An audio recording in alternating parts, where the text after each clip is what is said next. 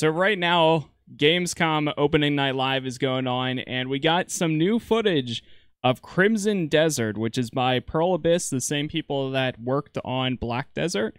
This is pretty much their single player style game, and it looks very interesting from what we've seen so far. So today we're going to watch that video, give some reactions, some first impressions on what we're seeing, and uh, take it from there. So let's get started. Pearl Abyss. Crimson Desert.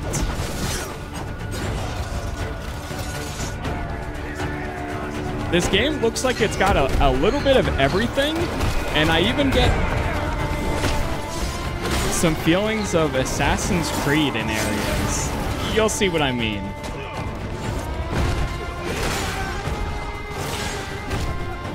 The combat looks pretty clean.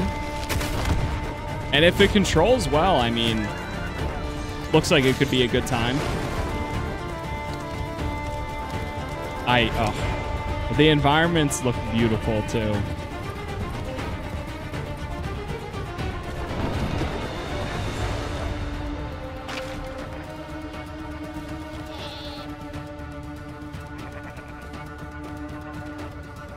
It's like you can get quests from local villagers.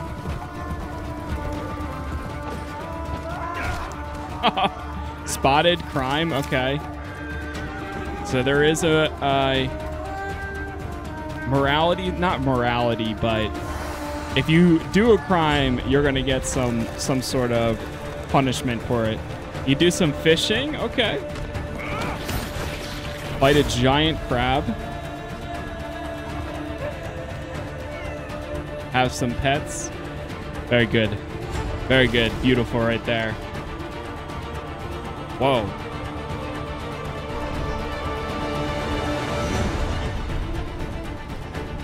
Now I'm curious if this game is gonna have like a full-on like single-player story, if it's or if it's just gonna be like exploration. Yeah, there you go. There's that's what I mean when I said Assassin's Creed earlier. Climbing, uh, a lot of free running. It looks like.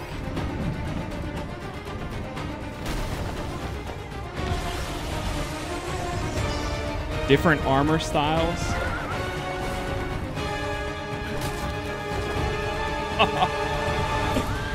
that is crazy. That too.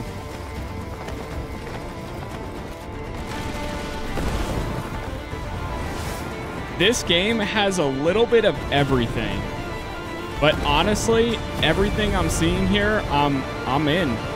Like I am down for this. As long as it turns out good, throwing people around.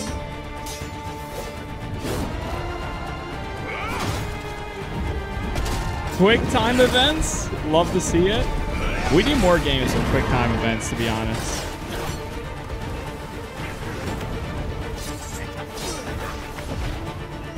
Oh, that's sick.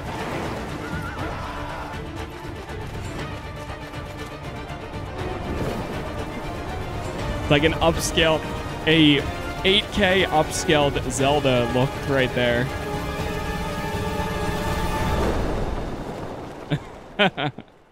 Crimson Desert. Man, that I really don't know what to expect, but it, it, it looks like it's it's a lot of things that it's trying to do. And hopefully they do it well, especially with I mean, I I went back to Black Desert recently and had a pretty good time with it. Um, it wasn't as story focused as I kind of wanted it to be, but if they primarily put out something that's very open world, story focused, single player, go do this, go do that, giving you actual quests that like matter. And then uh, I, I think that's a great combo and something I'm very interested in seeing. So if you guys are too, definitely leave a like on the video, subscribe. Let me know if you have any feedback on this game or if you've been watching it at all. Uh, for now, thank you for watching, and I'll see you all in the next one.